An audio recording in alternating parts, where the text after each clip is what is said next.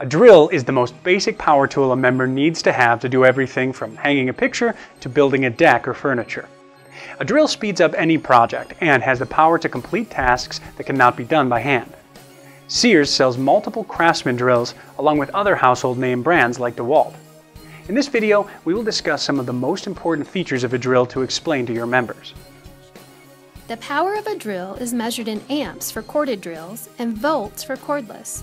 The higher the amperage or voltage, the more power a drill has. The chuck is the end attachment where the drill bits are inserted. Most drills use a keyless chuck where bits can be swapped out quickly and effortlessly by tightening and loosening the chuck. Torque is the force a drill produces to turn an object. If a drill has a clutch, its torque can be adjusted to one of multiple settings. The higher the clutch setting, the higher the torque a drill puts out. This is useful when drilling into several different types of materials.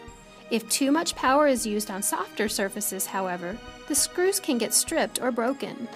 Variable speed allows the user to control how fast the drill is turning.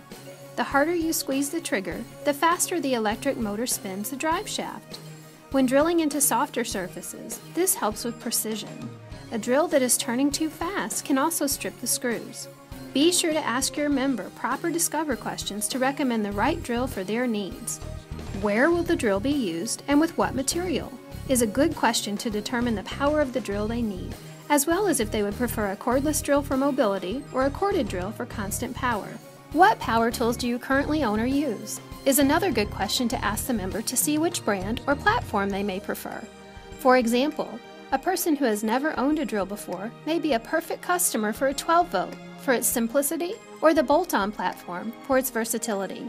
A drill will come with the most common bits, but in order to be prepared for any job, be sure your member goes home with an additional set of drill bits to augment their new tool.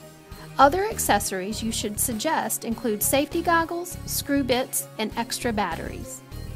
Every household needs a power drill in order to quickly finish home projects, whether building, remodeling, repairing, or cleaning. A power drill can get the job done without the need for superfluous elbow grease. By understanding the features of the drill, like amps, volts, chuck, torque, and variable speed, as well as the accessories to include, you can be confident that every member leaves with the right power drill for their individual needs and has a wow member experience every time.